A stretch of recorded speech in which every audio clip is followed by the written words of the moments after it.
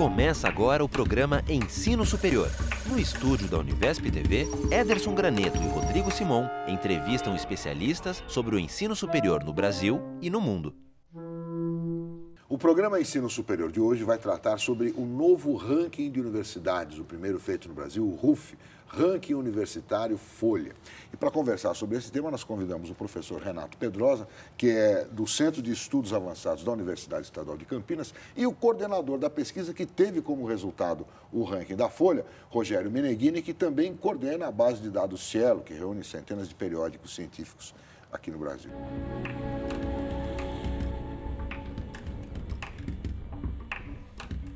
Bom, obrigado por terem vindo aqui. A gente queria primeiro é, perguntar para o Rogério é, como é que surgiu a ideia de fazer esse ranking. Existem rankings internacionais, é, se você se inspirou em algum deles e como é que você bolou esse trabalho de ranquear as universidades brasileiras?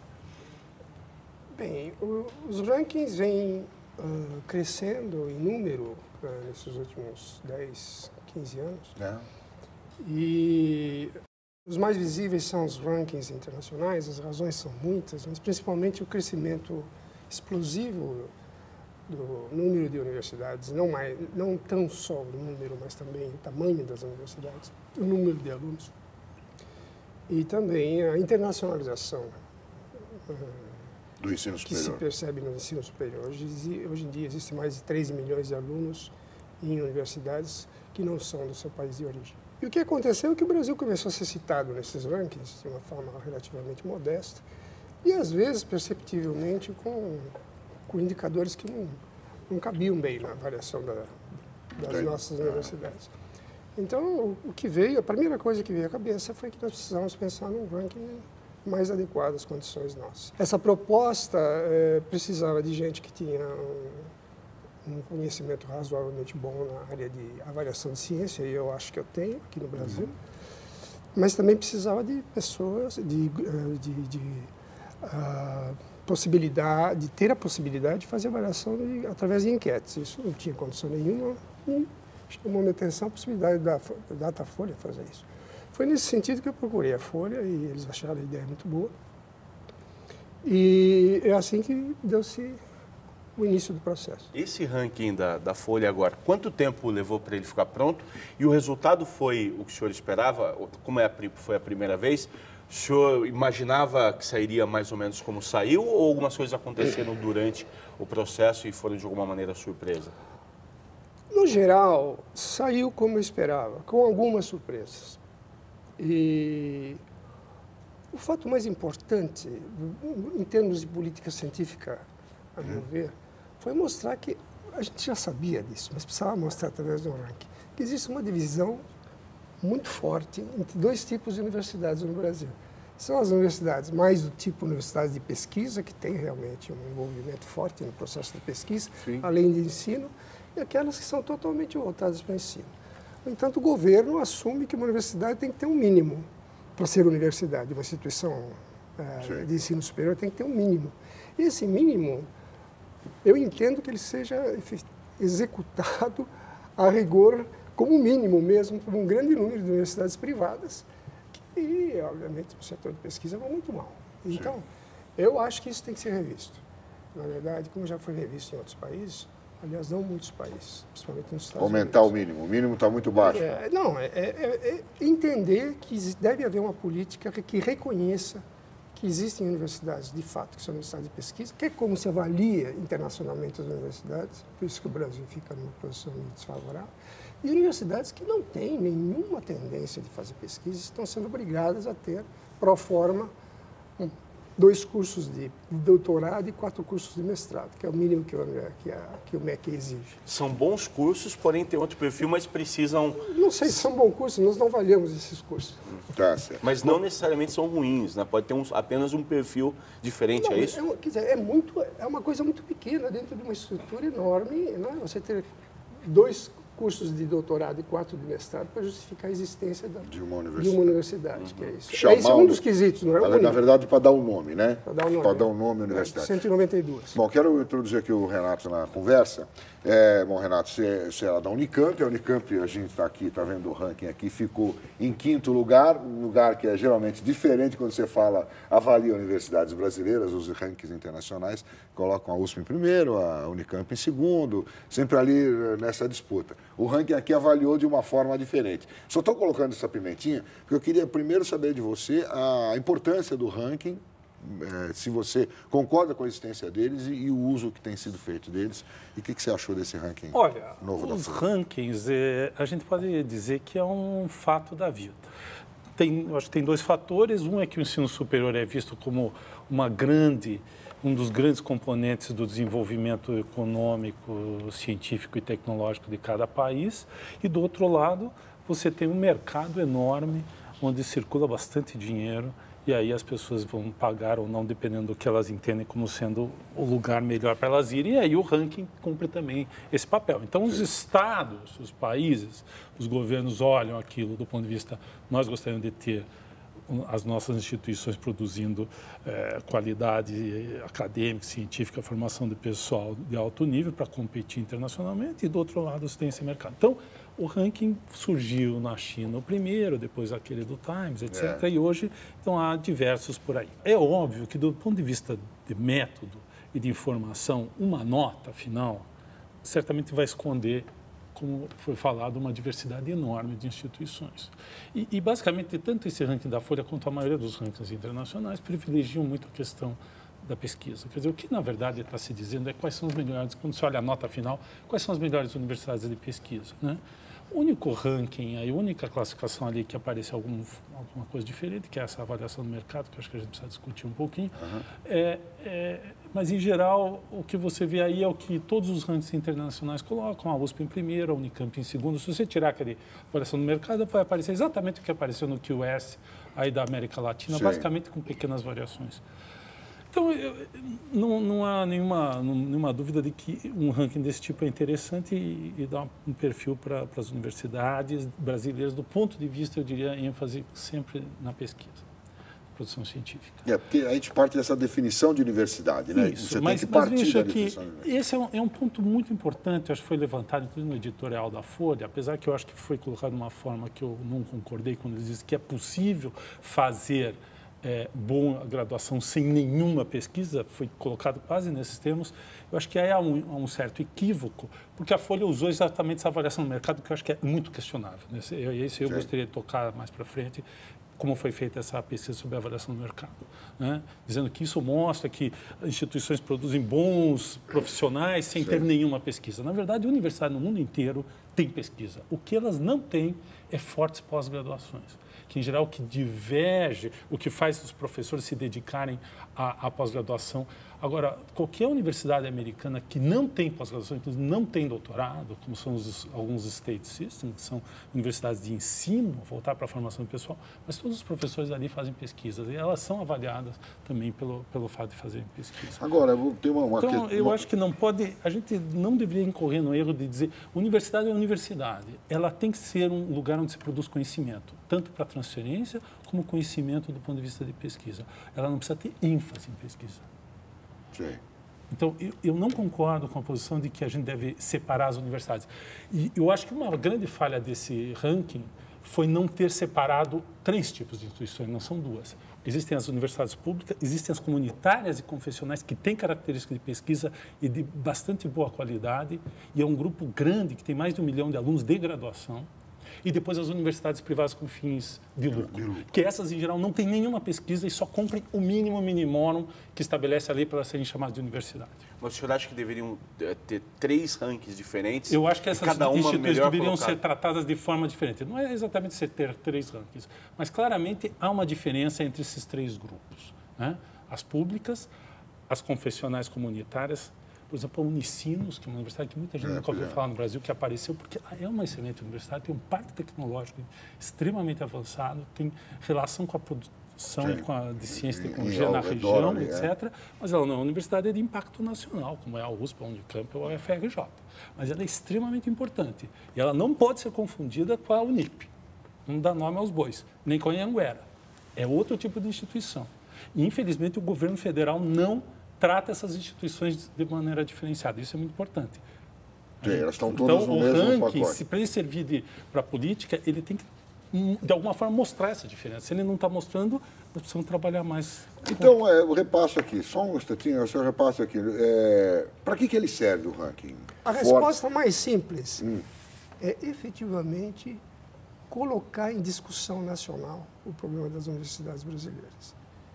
No contexto de formar políticas, rever políticas públicas relacionadas com a universidade. Então a gente faz agora uma pequena pausa. Voltamos daqui a pouquinho. Até já. Você está assistindo ao programa Ensino Superior. Em instantes, o segundo bloco da entrevista que Ederson Graneto e Rodrigo Simon realizam sobre o ensino superior em universidades do Brasil e do mundo. Começa agora o segundo bloco do programa Ensino Superior. Ederson Graneto e Rodrigo Simon entrevistam especialistas para falar sobre o ensino superior em universidades do Brasil e do mundo. Estamos de volta com o programa Ensino Superior, que hoje discute o novo ranking universitário Folha, o RUF. Nossos convidados são o professor Renato Pedrosa, que é da Universidade Estadual de Campinas, e o coordenador da pesquisa, que teve como resultado o ranking da Folha, Rogério Meneghini. Bem, eh, você tinha uma pergunta fazendo, é isso, Rodrigo? Acho que o tema mais debatido como resultado desse ranking foi a questão da avaliação, a nota atribuída às universidades pela avaliação do mercado. Isso, a Unicamp, acho que a gente pode dizer, não, professor, que está em quinto, muito por conta disso, a gente pega um dado específico da pesquisa, que no mercado os profissionais deram nota mais alta à Unip do que à Unicamp, por exemplo. Então eu queria perguntar para o professor Rogério, de- de- desse quesito especificamente, e depois para o professor Renato a opinião dele, claro, é, é, é, porque atinge especialmente a Unicamp. Bom, diz aqui que foram, avalia- foram eh, ouvidos 1.212 executivos de recursos humanos de empresas e instituições brasileiras eh, e avaliaram as instituições de ensino eh, em pelo menos um dos 20 cursos que mais formaram em 2010, como administração, direito e pedagogia. Tá, qual- foi o critério, professor Rogério? Vamos E o lá. peso dado a E ele? o peso da lei? O peso, na verdade, é- eu vou dizer um fato. A ideia inicial, minha pelo menos, é de que o mercado, a avaliação de mercado, pudesse nos ajudar a fazer a avaliação do ensino.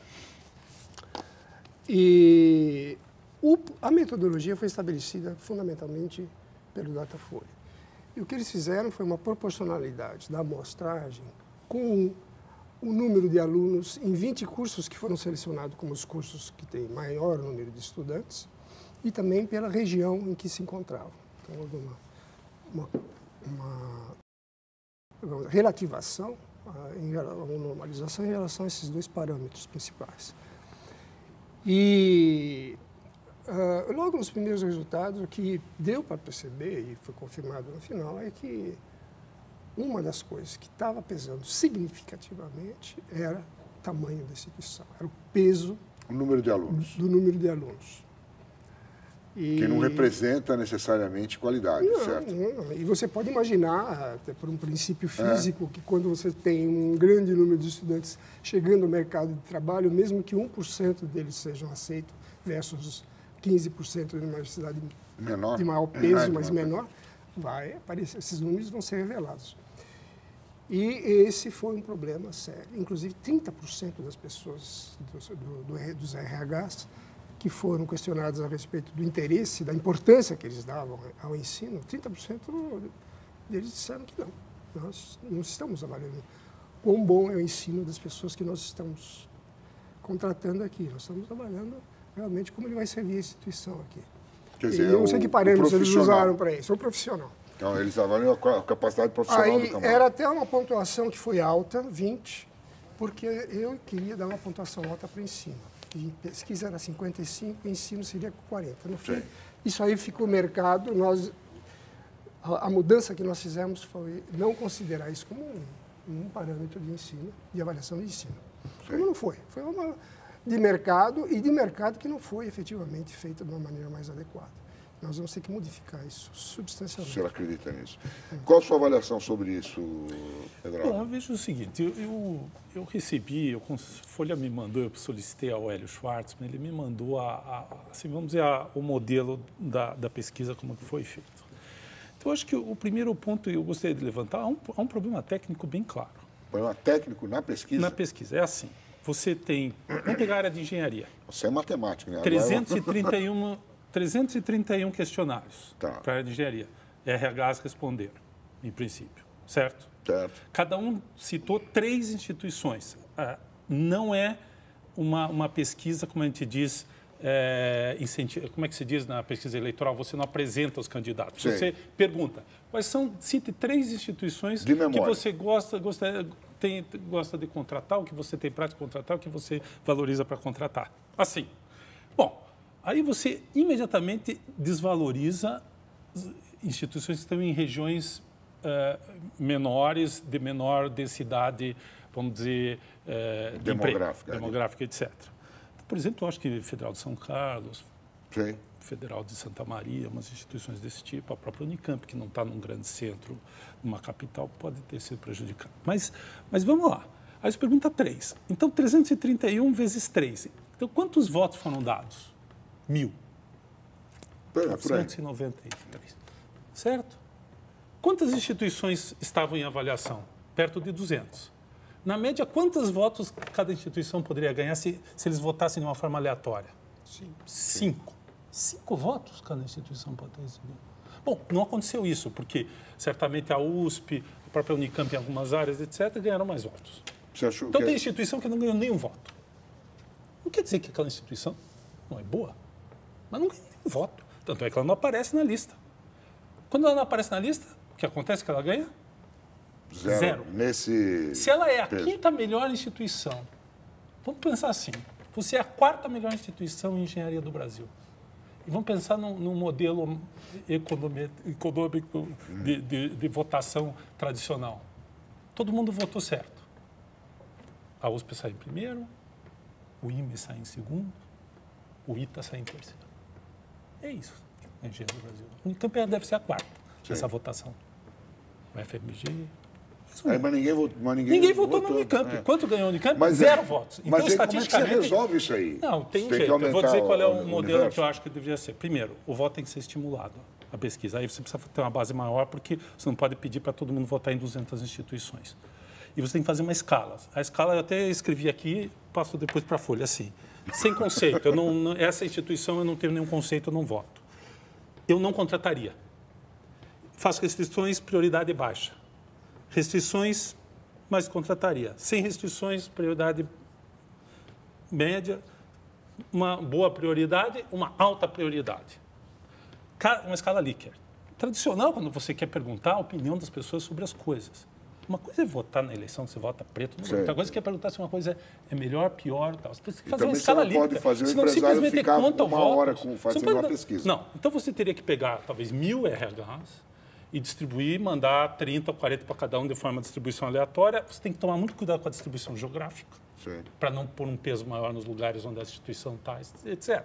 Então aparece a universidade lá de Salvador, que ninguém nunca ouviu falar, que tem nota 30 dos alunos, na, 34 no, no Enem, no ENAD, né, na frente do ITA, que tem nota 60 média no ENAD, e que todo mundo sabe quanto o cara é valorizado. Não é possível que uma empresa, se você disser para ele, você prefere contratar o cara, ele pode dizer, eu não vou contratar o cara do ITA, porque ele é muito caro, ou porque ele está lá longe, não quero trazer ele para cá.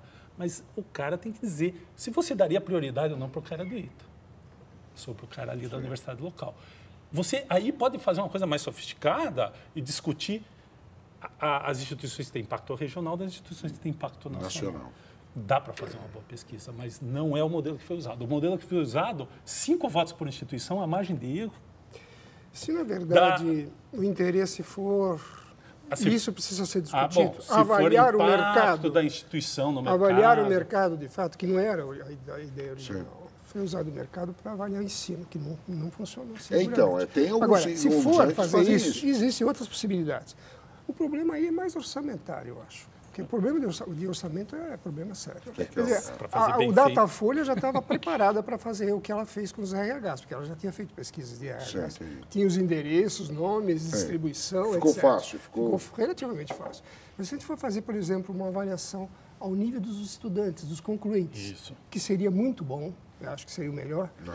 Qu- Quais deles estão tendo chances efetivas de ingressar no mercado. mercado, quanto eles estão ganhando, coisas parecidas.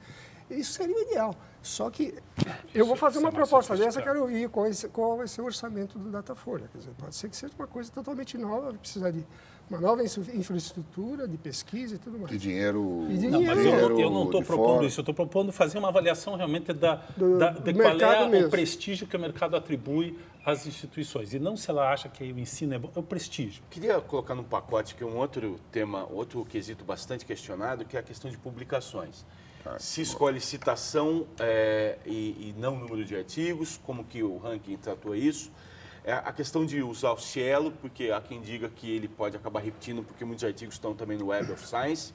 E a questão da limitação de dois anos de, de citação, professor. É, a primeira, só para não esquecer, qual foi a primeira? É, citação ou número de artigos? Olha, as duas coisas valem. Nos rankings internacionais está se deixando de usar simplesmente publicações. Eu acho que no Brasil é importante fazer isso ainda, porque realmente a gente pode pegar ah, elementos que não se que o pessoal de, ah, de países onde as universidades estão mais desenvolvidas não se interessam tanto pelo tamanho da publicação. Mas lembre-se que o tamanho da publicação, do jeito que ele é coletado, é da, de um site Web of Science, das melhores 10 mil revistas melhores do mundo, ele tem um significado. E se, por um lado, isso é importante nesse contexto, ele também é importante no sentido de dar uma ideia do global de produção científica nesse contexto que uma universidade tem. Aí é claro que uma universidade tamanho da USP sai privilegiada, mas ela, não- de uma certa maneira, ela está produzindo, uma quantidade de conhecimentos novos maior do que as outras universidades, levando, inclusive, em conta Então tamanho isso dela. merece um ponto Então, é. Tá, tá certo. Agora, citações, sem dúvida, no meu entender, é o melhor elemento de avaliação de qualidade. De qualidade. Não, é? não tem dúvida, ninguém tem dúvida. Porque você pode disso. produzir um monte de trabalho, Por que, mas. que eu propus que fosse dada uma pontuação baixa Hum. para citações por artigo? Porque se você fosse dar um valor alto, como alguns inter, rankings internacionais dão, você ia cair numa numa situação muito delicada de muitas universidades privadas que não têm praticamente nenhum tipo de pesquisa, a não ser de três, quatro grupos. Esses três, quatro grupos, em vai- vários dos casos, eles estão participando de programas junto com pesquisadores de, de outras universidades, inclusive internacionais por qualquer questão. Quer dizer, você tem uma universidade com 100 mil alunos, de repente tem um grupo de pesquisa que está fazendo pesquisa com altas citações por artigo, e você vai concentrar exatamente nesse grupinho ali que vai ter uma nota extremamente elevada. Isso nós observamos a fazer esse exercício. Então, nós deixamos de dar mais do que dois pontos para isso, que normalmente é é avaliado com uma pontuação maior.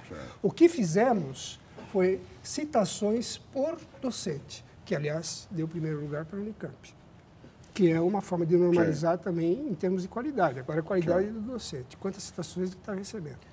Por que a escolha de limitar dois anos? Ah, não, dois anos. O dois anos é, uma, é, uma- é um retrato muito usado da situação atual da universidade. É considerado, em termos de coleta de dados, de bases de dados de, de pesquisa, como sendo, que foi que o Rogério Segrali estava enfatizando, como sendo um retrato fiel, bom, em termos de tamanho, e Do momento. do também. momento, do momento. Não quisemos pegar um período de cinco anos, onde obviamente pode haver variações, Sim. várias. É o né? momento né, que a universidade está vivendo, é isso. Exatamente. E é, é assim que faz o JCR, Junior Citation Report, que avalia é, revistas, etc. Sempre períodos de dois anos. E citações por mais um ou dois anos. Enfim, Citações também foi dois anos. citações foi um ano só. Foi do ano de 2010 para pesquisas feitas em 2008 e 2009. E a minha experiência mostra que isso é efetivamente um valor que você pode ah, considerar como bastante ah, realista em termos de retratar a situação. Só, só mais uma questão. É, O, o, o Cielo. é, e também mais uma coisa de inovação. É, é verdade que aqui a gente deu um peso maior à inovação tecnológica, e eu acho que daí acaba ajudando a Unicamp, do que se dá lá fora ou não? Já tem outros rankings. O, o Times acho que também dá É, o 5%. Times dá, É, o Times Está dá... aparecendo. tá- né? é. uma tendência de... Existe uma... Na verdade, eh, tem muita gente, o Rogério Saqueira está entre eles, que acha que não devia existir preocupação com inovação na universidade, nas É bom, tem muita gente que acha isso. É, mesmo. O que eu acho que, no nosso caso, no Brasil, é é uma posição um pouco extremista, porque, na verdade, a- o fato da empresa não fazer muita inovação, não fazer quase nenhuma inovação, quase que, que obriga a universidade a ter algum papel nisso. Eu acho que a Unicamp está fazendo muito bem isso. Ele, ele critica também usar, usar a patente. Ah, o Cielo. É. Não, usar A pa- patente. patente, É. Patente, sem dúvida. Alguma coisa assim que cada 98 patentes de 100 Uma. não, não são aceitas É. posteriormente como realmente inovação. Duas delas são. Agora, é muito pequeno, mesmo na, na Unicamp, é muito pequeno o número de patentes depositadas no período de 10 anos nós pegamos. Mas o que, que significa? Significa, significa para nós o interesse que uma instituição está tendo em termos de inovação. O depositar a patente. Não efetivamente os Se, é- se royalties aquilo que funcionou. É, exatamente. sendo É porque ele coloca para que, se- que deveria ser avaliado o retorno. O retorno, o é. royalty, não, não. Isso é, Mas o senhor não falou da plataforma Cielo, só para dar um tempinho A plataforma Cielo eu já tinha dito anteriormente. Na verdade, ela recobre um pouco. Aliás, se você pega todos os indicadores, os Que, rankings o uso simultâneo do Cielo e do. do- É, primeira coisa, foi criticado o fato de contar duas vezes. Quando você pega vários rankings, vários indicadores em um ranking, você vai perceber que nos vários indicadores existe um certo recobrimento. Citação por artigo, citações por docente e tal. Você está contando duas vezes citações, de certa forma. Aqui no, no caso do, do Cielo, na verdade, nós passamos a o, a, o- a coincidência que existe entre periódicos no Cielo e no Web of Science é de 90 periódicos. E o total de periódicos no Cielo é 260. Então nós estamos. É verdade que nós estamos contando duas vezes 90, mas nós estamos. Isso que é o mais importante para nós, é co- contar os 260 menos 90, que são, em grande número, periódicos da área de humanas, que não são percebidos pela, pela, pelo Web of Science, ou mesmo pelo, pelos, Scopus né? até um pouco mais, mais menos. Então, isso, isso foi importante para a gente, para começar a, a dar um certo crédito para a área de humanas, que tem feito um esforço de publicar em artigos científicos, porque essa não era a norma de publicação da, na área de humanas, era mais em livros, agora eles estão Para a gente percebendo. caminhar para o encerramento. Você concorda com, essa, com essas questões? Olha, a que ele- questão do- da pesquisa e da, da questão também da inovação, veja, eu acho que a inovação, independentemente do fato que na maioria dos países a inovação tecnológica não é feita nas universidades, no Brasil é importante que as universidades participem. Há outras formas de, de medir indi- indicadores desse tipo, por exemplo, a receita das universidades com, com convênios, com coisas que é, é É. muito importante, porque mesmo que não gere uma patente, ela gera conhecimento e gera Pesquisa, comunicação. A Unicamp tem vários projetos que não tem nada a ver com patente, mas que estão ali com institutos de pesquisa, com, com a CPFL. Agora mesmo vai ter um na, na área de energia solar, né, um- uma experiência da CPFL fazer uma integração com um projeto lá da física da Unicamp. Quer dizer, não, não necessariamente precisa ter uma patente envolvida, mas tem outras coisas que estão acontecendo. Então, acho que é importante, acho que dá para expandir um pouquinho essa, essa medida de inovação. E, e sobre a ciência, eu acho que a, essa é a coisa mais fácil, é a coisa mais bem estabelecida. E o ranking que saiu aí é exatamente o ranking que sai do QS, é o mesmo ranking que sai praticamente do Times, etc. Basicamente, nós sabemos quem são as universidades brasileiras que produzem mais pesquisa. Né? Ah, e eu queria só voltar de novo àquilo que você perguntou por que o Unicamp saiu em quinto lugar. Houve um outro erro, aí é um erro realmente que eu não sei como resolver, é que se você vai avaliar as 20 ma- mais áreas que tem maior número de, de- de estudantes sendo formados, você cria dois vieses. O primeiro viés é o viés de que a área privada forma 60% desses estudantes. Eu vi isso no, pra, só para as universidades. Tirei as, as faculdades e institutos, 60% das pessoas que foram formadas nessas 20 áreas vieram do sistema privado. Então, isso cria um automático viés que diz sobre impacto. Sim. Então, o impacto das universidades privadas é maior do que se estima do ponto de vista meramente acadêmico, etc. Isso é importante. Então, nós estamos avaliando, na verdade, é o impacto sobre o mercado. Mas o segundo ponto, e que abaixou a nota da, da Federal de São Carlos, da, da Unicamp, da Federal de Santa Maria, etc., é que são instituições, que, Unifesp, que não são instituições completas. não são instituições que têm todas as áreas, como tem a USP, como tem a Federal de Minas, a Federal do Rio de Janeiro. Nós não temos publicidade, nós não temos psicologia, nós não temos direito, nós não temos... Aquelas que São oito, dos 20 cursos, oito a Unicamp não tem, e um deles, que é fisioterapia, a Unicamp é recente, ainda não tem ela no, no mercado. Então, dos 20, nós já podemos ser avaliados de 11, aí nos outros tem que ter zero.